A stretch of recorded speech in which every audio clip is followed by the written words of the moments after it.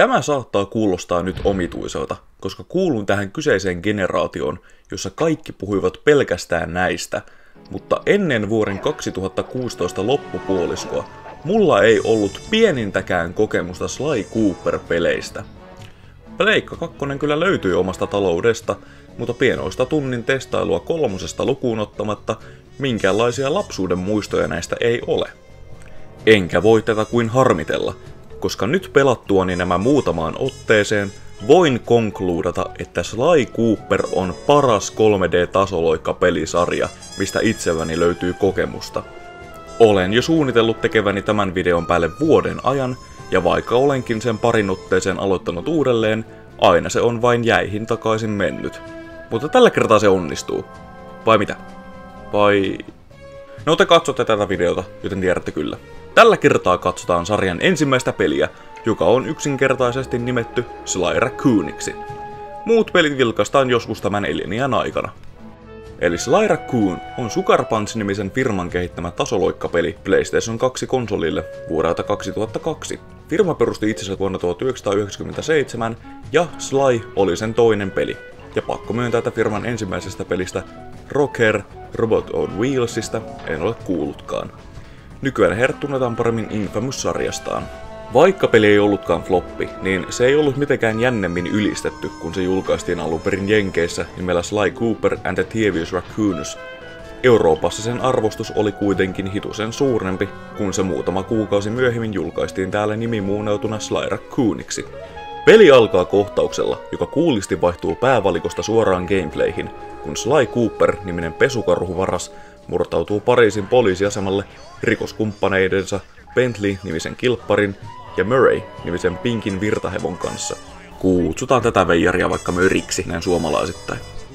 Tämä kohtaus esittelee pääosan pelin päämekaniikoista, kuten tasoloikan, kiipeilyn ja hiiviskelyn. Sly varastaa tarkastaja Carmelita Foxiota, joka pitää Slaita eräänlaisena arkkivihollisenaan itseään koskevan kansion, jota lyhyen takaa jo kohtauksen jälkeen tutkimalla Sly saa selville kauan etsimiään tietoja viidestä rikollisesta, jotka tunnetaan paremmin nimellä Fiendish Five.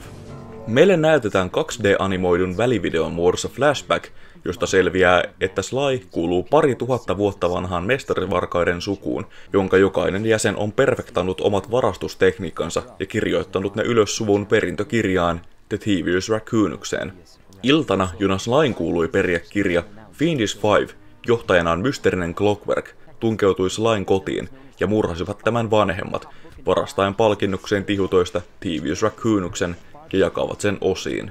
Sly selviytyy hyökkäyksestä ja päätyy orpokotiin, jossa hän tapaa elinikäiset ystävänsä, joiden nimet juuri mainitsinkin. Varttuessaan kolmikko päättää aloittaa rikollisen uran, mutta ennen Sly tahtoo hankkia takaisin sukunsa perinnön ja lähteä Fiendish Fivein perään, joten Karmelitalta vierusta kansiosta Sly saa selville heidän olin paikkansa ja lähtee hoitelemaan heidät yksi kerrallaan. Pelin ulkoasu ja tyyli on erittäin soma. Kaikki on hyvin piirrosmaisesti toteutettu. Hahmojen animaatiot sopivat myös täydellisesti tähän piirrosmaisuuteen, ja etenkin Slyn kuolin animaatiot ovat hauskaa katsottavaa. Ne tuovat meikäläiselle mieleen Warner Brosin vanhat piirretyt. 2D-animoiduissa välivideoissa toivoisin ehkä pienosta lisäliikettä hahmoille, mutta toimii se noinkin. Kenttien ulkoasut ovat mukavaa katseltavaa. Hyvin sarjakuomaisilla taustoilla ja rakennuksilla. Pidän myös siitä, etteivät tasot, joille Sly loikkii, ole mitään ilmassa leijuvia palikoita, vaan kaikki ovat jollain tavalla tähän kentän rakennelmaan ja teemaan sopivia osia. Eri osioiden teematkin ovat mukavan erilaisia kaikki, vaihtuen saarimaisemasta kaupunkiin, suohon, jäätikköön ja tulivuoreen.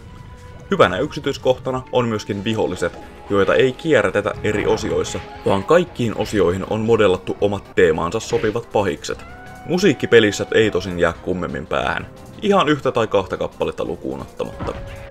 Itse peli on jaoiteltu viiteen osioon, joista 14 pitkälti samaa kaavaa. Kolmikon pakettiauto pysäköi ja salai kirjaimellisesti pomppaa autosta osion ensimmäiseen kenttään. Se on lineaarinen tasoloikakenttä, jossa kuljetaan tällainen esterata läpi, joka on täytetty erilaisilla esteillä. Tämän läpi päästyäsi avautuu tällainen Hub World, josta pääsee seitsemän erilaiseen kenttään, joista yksi on äsken läpi kulkemasi avauskenttä. Näistä kentistä kerätään avaimia, joita ensiksi käytetään avaamaan toinen puolisko Hubworldista, ja lopulta kuljetaan erilaisia keinoja käyttäen taistelemaan itse paikan pääkonnaa vastaan. Viimeinen osio on muuten samanlainen, mutta Hubworld puuttuu, ja kaikki kentät suoritetaan tietyssä järjestyksessä. Slailla on hyvä määrä liikkeitä, joita käyttää, ja näitä tukevat menettelevät kontrollit. Aluksi on se päivänselvin liikkuminen vasemmasta analogitatista. Se ei paljoota varmaankaan kuulosta, mutta suuret kiitokset tekijöille siitä, että he eivät ole yrittäneet antaa liikaa realismia, ja sen sijaan Sly pysähtyy paikoilleen saman tien kun tatista päästää irti. Siis mulla on kokemusta sen verran paljon peleistä, jossa hahmo pysähtymisen sijaan hölkyttää vielä kaksi metriä ennen kuin seisahtuu viimeinkin. Mä katson sua, GTA 5. Että tällainen ominaisuus on kuin siunaus itse Jeesukselta. Miksi sillä on väliä? No, koska kentistä löytyy paljon kohtia, joissa vaaditaan äkkipysähdystä. Ja jos pelihahmo jäisi hölkkäämään kun pitäisi pysähtyä, peli olisi huomattavasti turhauduttavampi, eikä näin ollen lähellekään yhtä nautinnollinen. X-napista hypätään, ja klassiseen tasoloikkatyyliin painamalla sitä uudestaan hahmo tekee tuplahypyn, tässä tapauksessa voltin, joka pidentää loikkaa hitusen. Useissa tasoloikkakohdissa tämä tulee tarpeeseen. Neliönapista Sly lyö kepillään ja rämpyttämällä neliönappia Sly heiluttelee sitä edestakaisin luoden iskusarjan. Ympyrä puolestaan on lähes kaikki muut perustoiminnot tai varasliikkeet, mikä on täällä niiden professionaalisempi termi. Siitä kiivetään, siitä hiivitään reunoja pitkin, siitä roikutaan, siitä interaktivisoidaan eri kohteiden kanssa. Ympyränapista tehdään siis lähes kaikki kiipeilyyn ja parkkouriin liittyvä. Pelaaja pystyy helposti kertomaan milloin näitä pystyy tekemään, koska suurinta osaa toimintoja highlighttaavat tällainen sininen hohde, joka viittaa siihen, että siinä voi tehdä jotakin. Muualla se on aika päivän selvästi naaman edessä oleva kohde, jota on vaikeaa missata. Oikea tatti puolestaan ohjaa kameraa, johon liittyy puolestaan yksi isoimmista gameplay-kriteereistäni, mitä meikäläisellä on tämän pelin kanssa. Kameraa voi kyllä liikutella mukavan smoothisti vasemmalle ja oikealle, mutta ylös ja alas pelikameraa ei voi kääntää. En näe syytä tähän, koska tällaisessa tasoloikkapelissä, joka ei ole ainoastaan Crash Bandicoot-tyyppistä eteenpäin kulkemista, tätä toimintoa olisi voitu hyödyntää muun muassa etsimään reittejä eteenpäin, mutta nyt ainoa keino katsoa ylös alas on ottaa R1 tai L1-näppäimestä lain kiikari käteen ja tarkkailla sillä pilviin päin. Vain muutamissa ennalta määritetyissä kohdissa kamera kääntyy automaattisesti ylös tai alas, antaen kohdalle sinemaattisempaa fiilistä. Pelin osiot on tosiaankin jaoiteltu seitsemään kenttään, josta yksi käydään läpi ennen kuin muihin pääsee käsiksi. Suurin osa näistä on aiemmin mainittuja tasoloikkaratoja, jotka tarjoavat sitä herkullista platforming nautintoa, yhdistettynä hiiviskelyyn. Nämä kentät ovat muutenkin hauskaa pelattavaa, mutta koska kontrolli on niin hyvin toimiva, pelaajaa suoraan sanottuna ihan haastetaan vetämään nämä kentät läpi mahdollisimman nopeasti. Tämä hiiviskely toimii mielenkiintoisesti. Ensiksi kentät ovat täynnä vartioita. Jos tällainen vartija näkee sinut, hyökkää hän kimppuusi ja täytyy tappaa hänet. Tällaisia ovat yksittäiset vartijat, mutta sitten on pari kohtaa, jossa useampi vartija hyökkää kerralla kimppuun, ja paras vaihtoehto pelaajalle on mennä piiloon hetkeksi, johtuen siitä, että Sly tosiaankin pystyy ottamaan vain yhden osuman ennen kuolemaa. Tämä tekee pelistä aluksi hieman haastavan, varsinkin kun ei aluksi tiedä milloin minkäkinlainen vartija lyö, mutta ei hätää, koska osumia saa maksimissaan kaksi lisää keräämällä hevosen kenkiä. Näitä kenkiä saa poimittua kentistä, joista niitä löytyy tavallisesti yksi tai kaksi. Lisäksi aina kun kerää sata kolikkoa, saa yhden kengän. Jos koittaa kuolema, niin yksi elämä lähtee pois ja päädyt checkpointille, ja jos kaikki elämät menetetään, niin kenttä täytyy aloittaa alusta.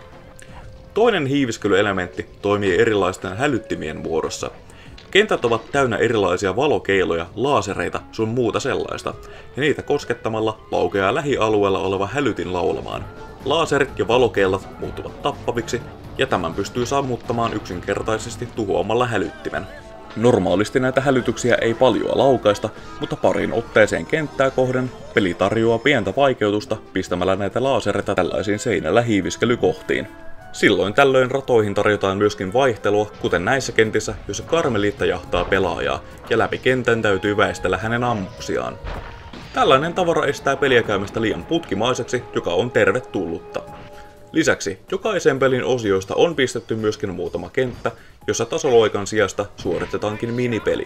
Nämä minipelit vaihtelevat hauskoista ihan okeisiin ja rasittaviin. Mä esimerkiksi tykkään todella paljon näistä, missä Sly ajaa tällaisella tykillä varustetulla hoverboardilla, mutta sitten on esimerkkinä tämä Bentleyn hakkerointitehtävä, joka on jokaisella läpipelu kerralla se pelin rasittavin kohta. Liian liukkaiden kontrollien vuoksi tässä ottaa liian helposti osumaa. Perkule! Mikä asteroidiklooni tämä muutenkaan on? Osa näistä minipeleistä tarjoaa helposti sen koko pelin suurimman haasteen. Osittain siksi, koska aikaa on annettu juuri ja juuri niin paljon, että sen pystyy pääsemään läpi, eikä virheille ole siis varaa. On kuitenkin kiitettävä peliä siitä, miten paljon minipelit tarjoaa vaihteluvuutta. On turretilla ammuskelua, joka luojen kiitos ei ole niinkään rasittavaa kuin monissa muissa peleissä, autokisaa, kanojen teurastusta sekä tällainen rapukenttä. Kun kaikki seitsemän kenttää on vedetty läpi, pääsee taistelemaan itse bossia vastaan. Nämä boss battlet ovat sitä osui tai upposi meininkiä, Pari niistä nimittäin noudattaa hyvin kliseistä ja melko rasittavaakin väistä bossin iskut ja sitten vastaa omalla koukkukepilläsi, joka ei ole mitenkään originaalia. Mutta sitten on nämä paljon hauskemmat bossit, jossa tappelun on kehitetty jonkinlainen niksi. Esimerkkinä tämä, jossa ideana on kääntää näitä peilejä. Mutta helposti se hauskin bossi koko pelistä on tämä. Tässä vihoinen heittää slaita kuvionäppäimillä, ja väistääksesi ne täytyy painaa vastaavaa näppäintä juuri oikeaan aikaan, et kuole. Aluksi voi olla haastavaa, mutta kun kuuntelee rytmiä, pääsee nopeasti jyvälle oikeasta ajoituksesta.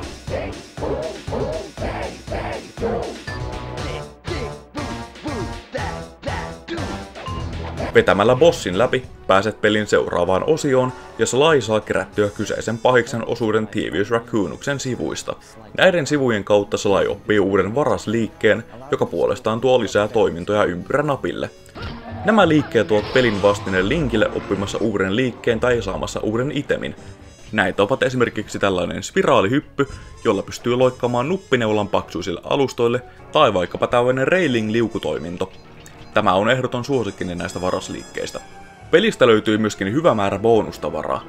Näihin ratakenttiin on piiloitettu tällaisia pulloja.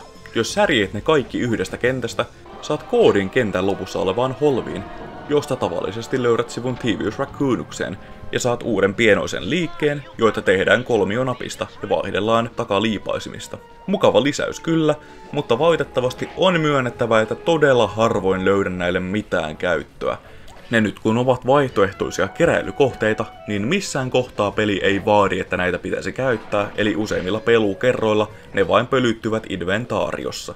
Jos kaikki pullot saa kerättyä yhdestä kentästä, avautuu aikahaaste, jossa kenttä täytyy vetää läpi mahdollisimman nopeasti tietyn ajan sisällä. Nämä saattavat tuottaa haastetta jopa kokeneemmallekin pelaajalle, koska näissä täytyy oikeastikin osata kenttien oikopulut ja kikat. Aikahaasteen läpivetämällä aukeaa pelintekijöiden kommenttiraita kentälle, joka on erittäin hyvä bonus. Pelin isoin ongelma tulee kuitenkin sen lyhyydestä. Sen vetää viidessä tunnissa läpi ja tulevilla läpipelukerroilla se on ohi sitäkin nopeammin. Ja myöskin pienoinen maininta, joka ei ihan negatiivinen ole, tulee siitä miten vähän tarinaa pelissä on. Jotakin on yritetty luoda kasaan, muun muassa Final Boss Clockworkiin liittyvällä twistillä, mutta tarina ei ole tämän pelin muistettavin osapuoli. Mutta Sly Raccoon on erinomainen tasoloikkapeli PlayStation 2 konsolille. Vaikka se sisältääkin muutamia ongelmia, josta osa on hieman rasittavia, niin peli itsessään on jokaisella läpipelu kerrallani ollut erittäin nautinnollinen kokemus, Tunnelma, hyvä kenttäsuunnittelu, pelattavuus, herkullinen tasoloikka, hiiviskely sekä monet minipeleistä ovat olleet riittävä syy meikälle vetää peli läpi muutamaan otteeseen. Jos tykkäät tasoloikasta ja et pahastu muutamasta rasittavasta kohdasta, etkä ole pelannut Sly Raccoonia, olet missannut jotakin loistavaa. Rokeelta ainakin tulee suositteleva peukku pystyyn.